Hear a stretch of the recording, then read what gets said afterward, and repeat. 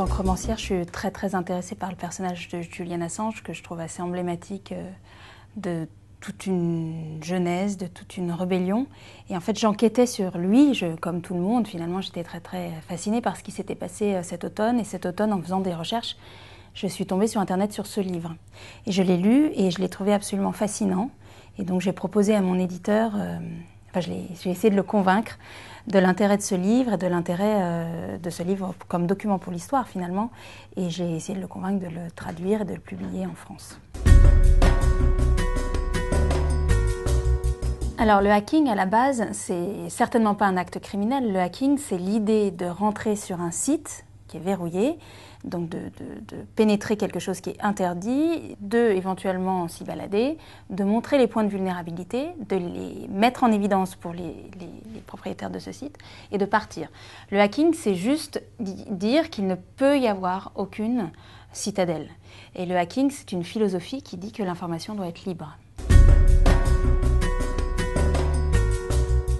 Underground décrit effectivement les premiers exploits et la, création de cette communauté euh, du hacking, l'une des plus euh, puissantes euh, qui ait existé, qui était la communauté du hacking australienne à la fin des années 80.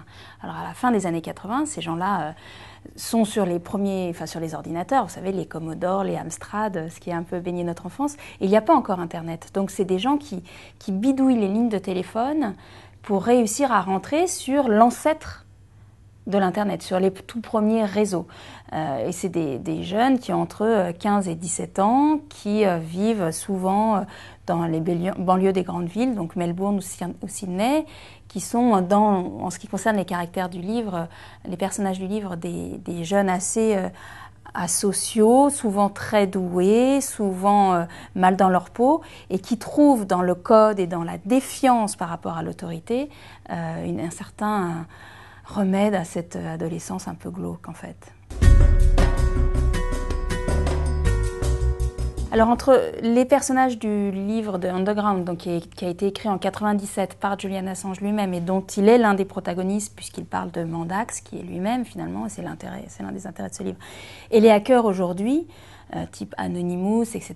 Il y a 15 ans d'évolution politique et il y a une maturation justement politique de ces hackers à la fin des années 80, quand les hackers euh, rentrent sur les sites militaires, il y a une défiance, mais elle est assez infantile. Euh, il n'y a pas d'organisation très nette, de message politique très clair.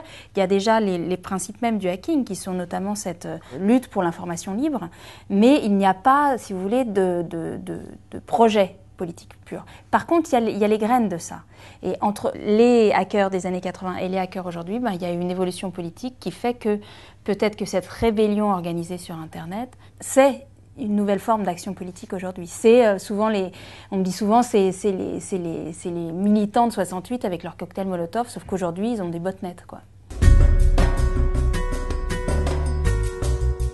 C'est l'une des expressions euh, les plus abouties aujourd'hui d'une forme de hacking. En fait, le hacking, c'est une maîtrise technique, c'est une éthique.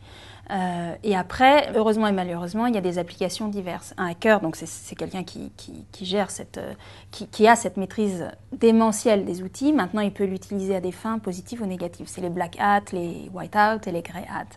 Donc, les black hats, c'est ceux qui vont travailler pour des groupes anarchistes, qui vont voilà être dans un, dans un acte terroristes, c'est ceux qui piquent les numéros de carte de crédit, qui, voilà, qui nuisent à, ce qui se passe sur Internet. À l'inverse, là, il y a les white-out qui vont aller au contraire, essayer de défendre la liberté, euh, la, circulation des idées, etc.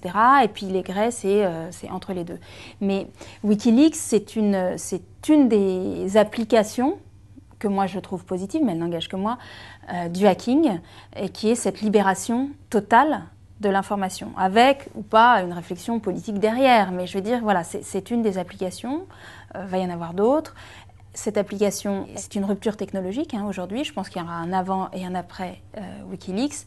Ce qui est intéressant de voir, c'est qu'effectivement, c'est une rupture technologique à la Schumpeter, donc c'est une grappe technologique. il va y avoir 50, 60, 1000 entrepreneurs derrière qui vont prendre cette innovation et qui vont aller plus loin. C'est ça qui est intéressant. C'est le mouvement qui est enclenché là. Qui est intéressant à voir aujourd'hui, c'était la, réaction des journalistes d'une part, et d'autre part la réaction du politique, qui est une réaction de verrouillage par rapport à ce que fait Wikileaks. Tous les gouvernements sont en train d'essayer de verrouiller l'Internet. Euh, je ne vous parle pas de l'Iran qui lance, son Internet halal, mais à la Commission européenne, il y a eu une déposition d'un parti pour qu'il y ait la création d'un espace Schengen numérique. Donc qu'on fasse une muraille numérique autour de l'Europe. Donc c'est ça qui est en train de se passer. La question de la liberté sur Internet, c'est plus une question pour les bobos du troisième arrondissement. C'est une question au cœur de l'évolution de la démocratie aujourd'hui. Et je pense vraiment que Wikileaks a accéléré le débat, euh, mais que voilà, c'est quelque chose qui se négocie tous les jours sur les réseaux en ce moment.